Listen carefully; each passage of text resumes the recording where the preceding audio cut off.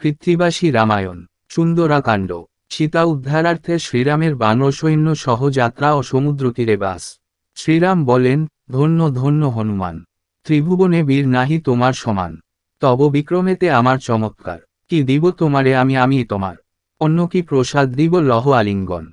ইহা বলি কোল দেন কমল লোচন। পবনপুত্রের কথা শুনি হরষিত।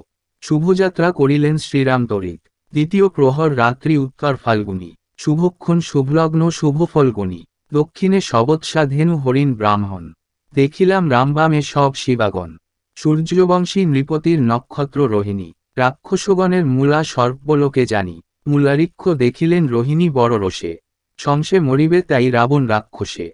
চলিল বানর ঠাট নাহি দিশবাস কটক জুড়িয়া যায় মেদিনী আকাশ। কিলি কিলি শব্দ করি কপিগণ চলে উত্তরিল দিয়া সবে সাগরের কূলে।